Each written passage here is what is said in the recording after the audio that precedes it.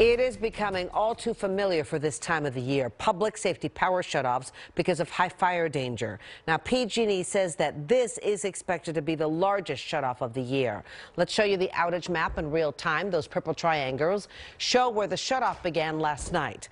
In some areas, the lights not expected to be back on until sometime tomorrow. We have live team coverage for you tonight. We begin with NBC Bay Area Cheryl Hurd and Orinda and Cheryl. So much frustration there has to be. We've done this so many times. It is, and right now we are in the heart of the theater district, and this iconic sign that you can usually see from the freeway is out. In fact, power went out here about 8.30 last night, and tonight people are doing all they can to survive until the lights come back on sometime tomorrow.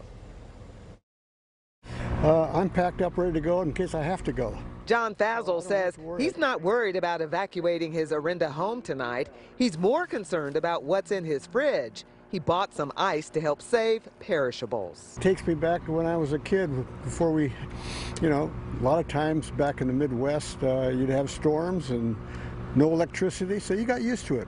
People here in the Bay Area are getting used to public safety power shutoffs, a tool PG&E uses to turn off power when there is extreme high fire danger. They have to do what they have to do. It's better than a fire. A red flag warning has been issued for the Berkeley Hills. City officials asking residents to leave until the danger is over. We just decided to wait it out, and it wasn't that bad, so. Due to high winds in the area, PG&E has been unable to fly helicopters to inspect power lines. So tonight, stoplights are out. Businesses remain closed and gas pumps shut down. Charging stations like this one at the Moraga Valley Presbyterian Church has been set up by PG&E to help people get through this. I have a generator that's broken. I know. And I don't have anybody to fix it. So that's actually why we're here too. I mean, if we had the generator, we would have been golden. PG&E will start inspecting power lines at daybreak. Reporting live in Orinda, I'm Cheryl Hurd, NBC Bay Area News. Okay, thanks, Cheryl. Now, wind pounded the East Bay hard, knocking over trash cans, snapping tree branches, even bringing down some power lines. In the foothills of Fremont, part of a large eucalyptus tree fell, narrowly missing a house. Let's bring in Chief Meteorologist Jeff Ranieri. Jeff, you're out there in the hmm. dark because you have no power. So when is the this wind going to be behind us? When are things going to be restored?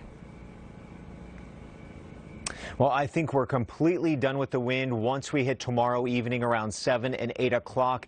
Uh, but as you mentioned, uh, I just have a small generator lighting this live shot. Otherwise, my neighborhood is dark here in the East Bay.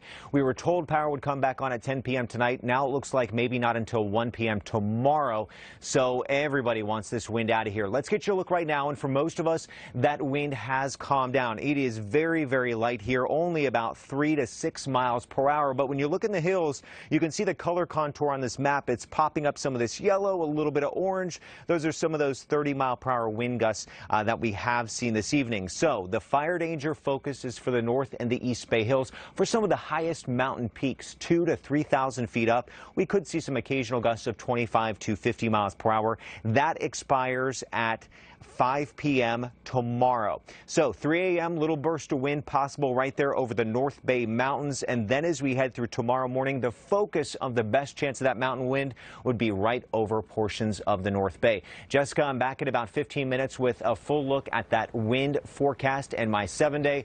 Uh, but I have to say, obviously, we knew the power was going to go out, but on top of COVID and everything else, it is quite an eerie night out here this evening. Yeah, it certainly has to be exhausting all the way around. Thank you, Jeff.